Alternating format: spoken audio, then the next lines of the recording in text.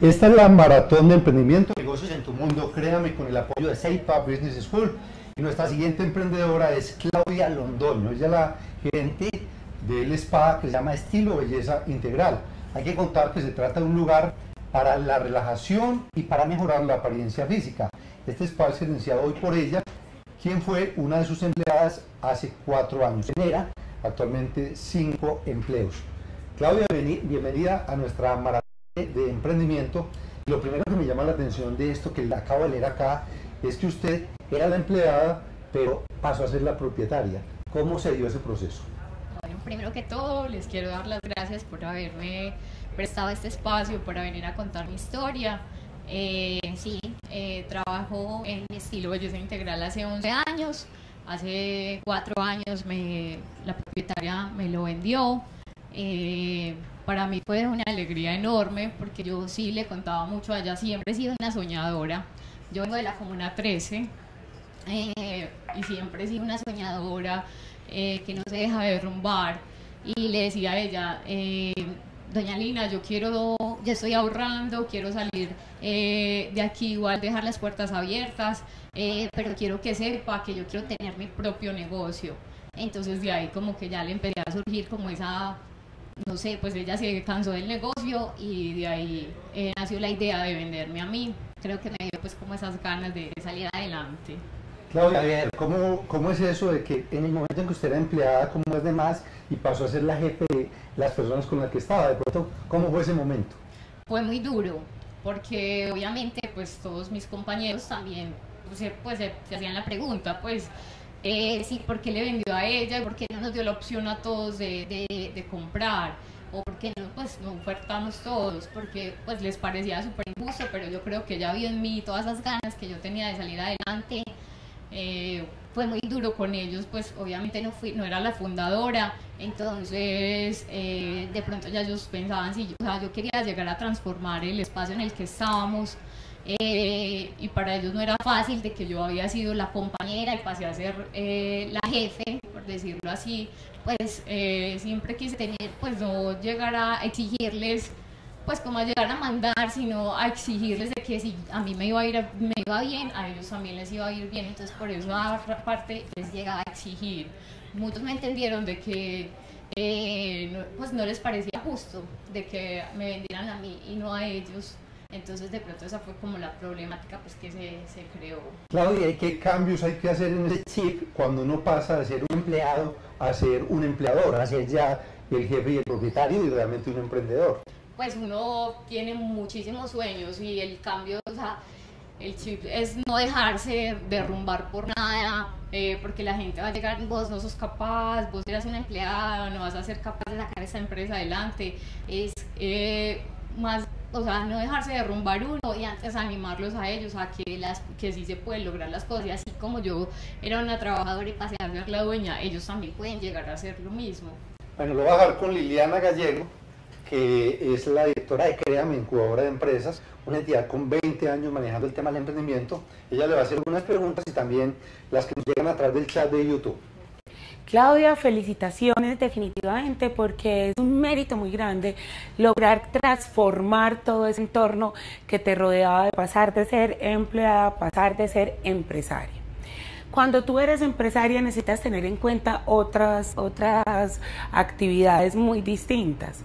¿Te capacitaste para eso o cómo lograste llegar a ese punto?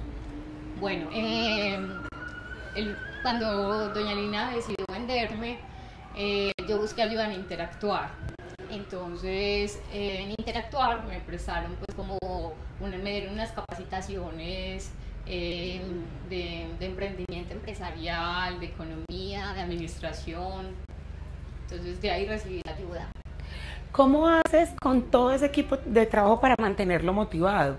Porque ustedes trabajan con la belleza, la armonía, la relajación. Entonces, sí, definitivamente es súper importante el clima laboral en cualquier empresa, pues en tu espacio muchísimo más. ¿Cómo lo logras? Eh, bueno, eh, los motivo todos los días de que, eh, pues, bueno, una de las cosas que estamos haciendo es hacer un ahorro programado para que, bueno, la mayoría son madres solteras, para tener eh, su casa propia. Eh, obviamente saben que tiende, o sea, hay que producir para que saquen los hijos adelante. Eh, pues sí, siempre es como eso, pues el ahorro que se hace para que ellos se motiven a seguir adelante. Y siempre, constantemente les estoy diciendo, no paren de soñar, no paren de soñar. Y si a mí me ven como un espejo, me encanta porque también quiero que esas madres, cabezas de familia, también lleguen a tener su propio negocio.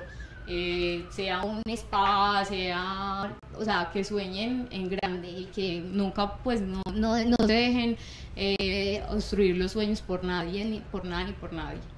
Bueno, tenemos dos preguntas más eh, de los televidentes. Luisa Montoya quiere saber cómo superaste esos ataques laborales, porque definitivamente no es fácil. Sí, bueno, no fue fácil porque, bueno, yo cometí un error muy grande al iniciar y fue que yo me metí mucho en que tenía que llegar a transformar el espacio y de pronto los hice a ellos a un lado porque estaba muy segura de que ya ellos llevaban varios años ahí y ya tenían su clientela fija. Entonces eh, cometí el error de, de solamente pensar en embellecer el espacio y no repotencializar lo que ellos ya, ya venían haciendo, y que siguieran luchando, eh, de que si yo ganaba ellos también iban a ganar. Bueno, y la última que tenemos es de Cristian Cano. Él te pregunta, ¿es fácil ser empresario sabiendo que viniste desde la Comuna 13 donde se encuentran diferentes conflictos sociales y de violencia? Sí, la Comuna 13 tiene una problemática social. Bueno, ya recuerdan todo lo que fue la Operación Orión. Yo creo que yo, o sea, no es fácil, pero tampoco es imposible. Es simplemente llegar y tocar puertas y saber que si no cerraron la primera puerta, es seguir intentando que se va abrir una puerta más grande. A todos los jóvenes de la Comuna 13, yo les digo, yo toda la vida crecí ahí, me tocó todo lo que fue la Operación Orión y sin embargo para mí eso fue un impulso más grande para decir de aquí voy a salir, eh, va a salir una, una hija, una mamá, una esposa que va a sacar su familia adelante, que no para de soñar. Les, les digo a todos los jóvenes de la Comuna 13 que no se cierren en que somos de la comuna, si vamos a enviar una hoja de vida y nos van a pedir la dirección, van a saber de dónde venimos. No todos, somos, no todos somos malos y yo sé que hay muchos jóvenes que sueñan. Eh, no se, no se cierren por, por vivir ahí, antes que eso sea un impulso más grande para hacer cosas grandes y, dejar eh, en alto de que la gente que crece allí, eh, no todos somos malos. Liliana, vamos a hacer el, resumen. ¿Cuál es esa gran conclusión de este diálogo con Claudia Londoño? Bueno, yo creo que con Claudia tenemos mucho que aprender. Ella sí es una experiencia de vida, pero definitivamente lo que tenemos que resaltar aquí es que ser emprendedor es una actitud. Ser emprendedor no solo es ser empresario. Y como actitud, a partir de ser empleados, podemos llegar a ser luego emprendedores. Entonces, ser emprendedor depende de la actitud que le pongamos a la vida y a las cosas. Y siendo empleados también podemos ser emprendedores y luego lograr como Claudia llegar a ser empresarios. Excelente la conclusión, me encantó, porque es nunca pares de soñar y ella lo está demostrando, que cuando uno sueña y hace en grande, pues los objetivos se logran. Muchísimas felicitaciones. Claudia, finalmente en esa cámara, usted les va a contar a los televidentes, la gente que nos está viendo en diferentes países, eh, por qué la empresa suya vale la pena y por qué ellos también, la gente que nos ve acá más cerca, en Medellín, el área metropolitana, debería ir y usar los servicios de su spa. Bueno, eh, primero porque van a llegar y se van a sentir súper bien. La gente normalmente llega bajita de ánimo.